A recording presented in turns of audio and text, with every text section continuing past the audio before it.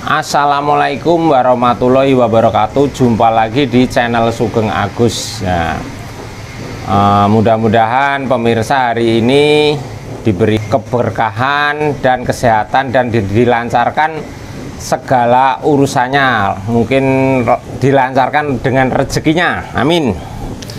Selama ini saya jarang mengupload tentang Eh, resep-resep mie. Makanya ini kan lagi dibangun.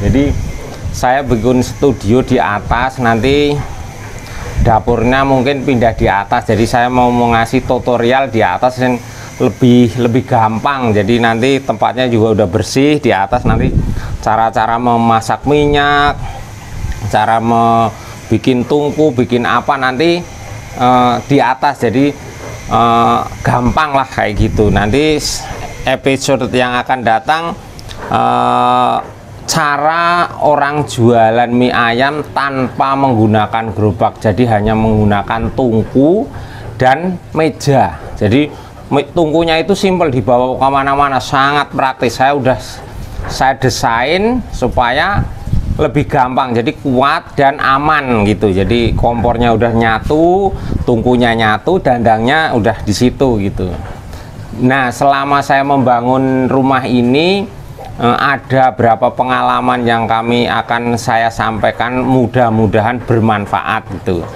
Oke. Nah, kemarin itu saya itu beli sanyo pendorong. Sanyo pendorong mereknya ini nih. Jadi sanyonya pendorong ini eh, otomatisnya waktu kita pakai pertama itu lancar kita buka kerannya kita tutup otomatisnya berjalan gitu. Jadi kita buka ini bunyi kita tutup mati gitu. Nah selama satu bulan apa dua bulan ya ingat saya itu lama-lama itu sering mati sering bunyi sering mati sering bunyi gitu. Nah terakhir itu malah bentar-bentar mati bentar-bentar bunyi bentar-bentar mati bunyi. Nah kesimpulannya pasti otomatisnya akan rusak. Ternyata saya otomatisnya sebelum saya otomatis cek kita cek salurannya. Salurannya itu kita po, uh, cek satu persatu tidak ada yang bocor. Mm -mm, jadi kalau otomatis itu kalau misalkan salurannya ada yang bocor kecil dia akan membuka dan bunyi gitu. Jadi kalau sel, uh, salurannya itu tidak ada yang bocor pasti uh, dia akan menutup dan tidak akan bunyi gitu. Jadi uh, pengalaman saya itu ternyata ini mati hidup mati hidup. Tak terus uh, salurannya itu saya cek ternyata tidak ada yang bocor. Terus saya cek ke satu persatu tiap kamar mandi salurannya kerannya uh, sambungannya tidak ada yang bocor. Tapi tetap masih mati hidup mati hidup cetak cetak cetak nah saya saking pusingnya itu kita potong di sini. Ini kan uh, lari pembuangan. Nah ini pembuangan. Jadi kita potong di sini kita kasih tutup salem tutup rapet ternyata otomatisnya masih sama mati hidup mati hidup mati hidup. Lah kesimpulan saya otomatisnya yang rusak.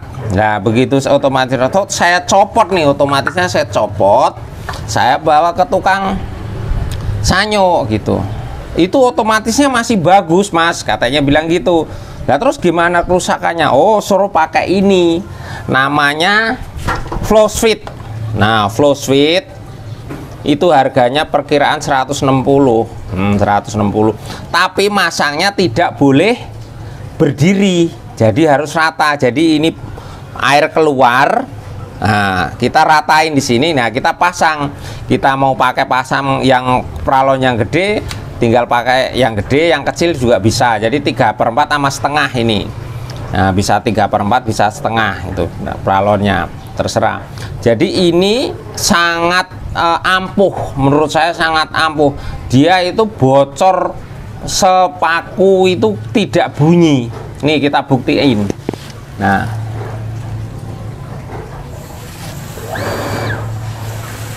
Tuh bocor sepaku tidak bunyi.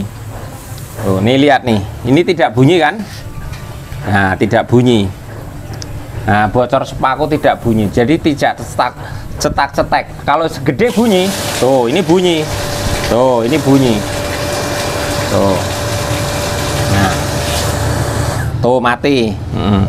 jadi saya, apanya? Otomatisnya itu kita pindah. Ini kan ada kabel. Ada kabel yang ke larinya ke sini. Jadi pemirsa itu ini otomatis jangan dibuka jangan dibuang cuman diambil kabelnya aja. Nanti kabelnya disambung ke sini. Nah posisinya gini. Gampang sama sangat gampang. Yang penting posisinya datar. Jadi ini disambung ke sini. Jadi ini otomatis tetap terpasang cuman diambil kabelnya aja. Nah sini. Jadi sangat ampuh itu. Tuh ini bocor segini aja tidak tidaknya tidak tidak bunyi. Tuh tuh tuh tidak bunyi. Tuh.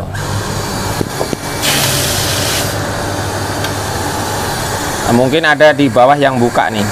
Posisi bawah ada yang buka nih. Tuh tidak bunyi ini tuh.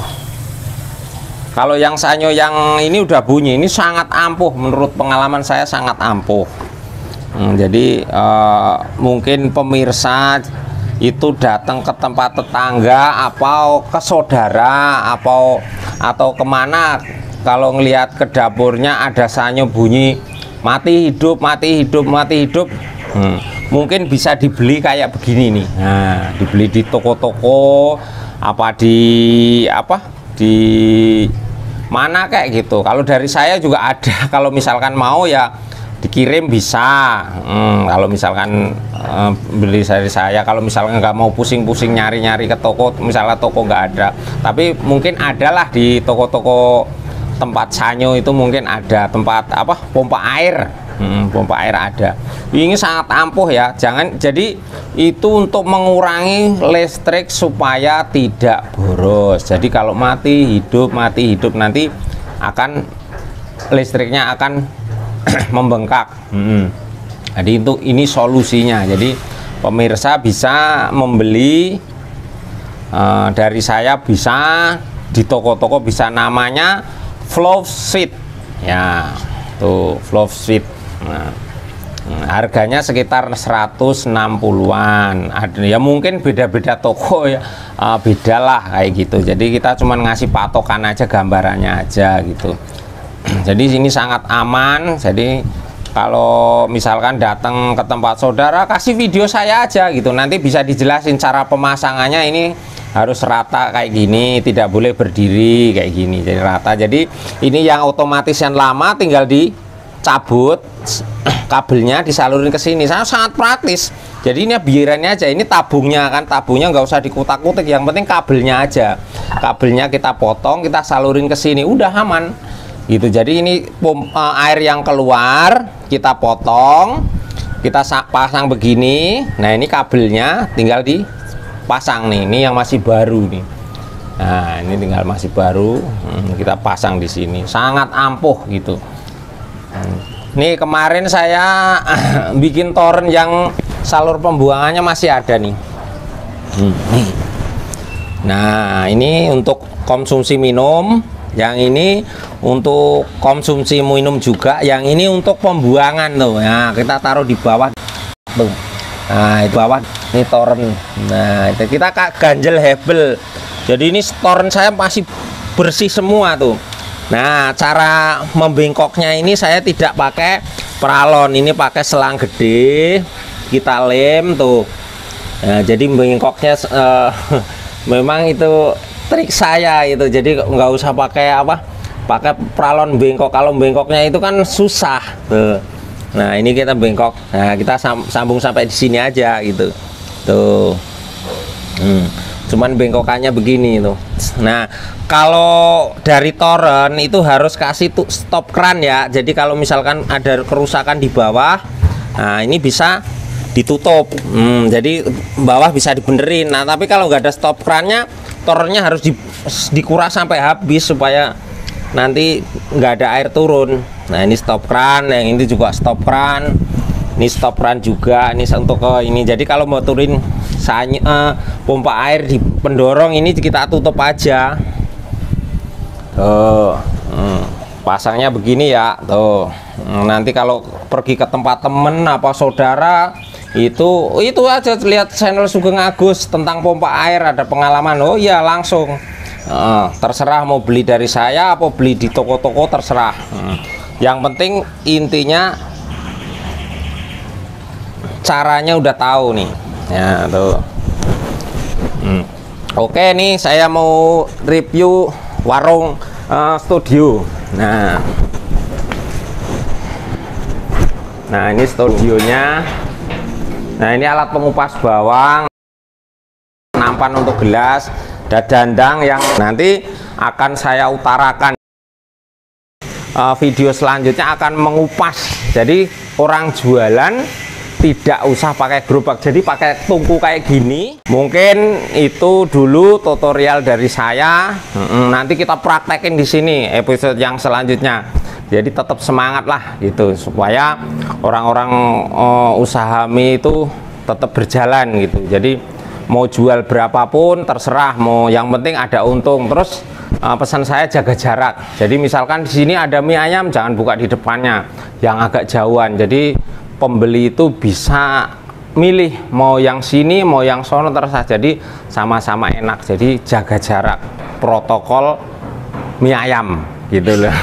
Jadi protokol bukan protokol kesehatan. Kalau protokol kesehatan udah udah kita terapkan uh, uh, pemerintah. Jadi ini protokol uh, jualan mie. Jadi jaga jarak. Jadi pembeli itu mau beli di sini terserah di sono jadi sama-sama tidak tahu. Jadi rezeki itu masing-masing gitu. Dan uh, tetap semangat dan apa ya uh, untuk motivasi usaha mie ayam. Jadi kalau pensiunan bingung usaha melihat channel saya mungkin nanti kalau kurang paham di WA bisa gitu. Jadi nanti di WA tapi tetap sabar. Hmm, WA nya itu kan satu. Jadi nanti kalau misalkan WA nya jawabnya nggak nggak apa nggak langsung gitu. Ya jadi kalau orang-orang pesen barang-barang kompor pengupas bawang alat-alat yang lain biasa kita transfer dulu nanti barang langsung kirim. Tapi ada juga yang khawatir tapi tetap saya uh, sesuai perjanjian. Jadi kalau misalkan duit ditransfer barang langsung saya kirim. Uh, kalau nggak dikirim kalau sampai nggak dikirim wah saya ntar diomelin gitu. Tetap uh, jangan khawatir kalau nggak dikirim. Uh, saya tanggung gitu. Oke, mungkin itu dulu tutorial dari channel Sugeng Agus. Nanti kita bikin studio di sini cara masaknya. Saya sini. Nih ini juga sono pas ini sebelah warung, posisinya sebelah warung. Itu. Oke, tetap semangat. Wassalamualaikum warahmatullahi wabarakatuh. Salam dari uh, mie ayam teman.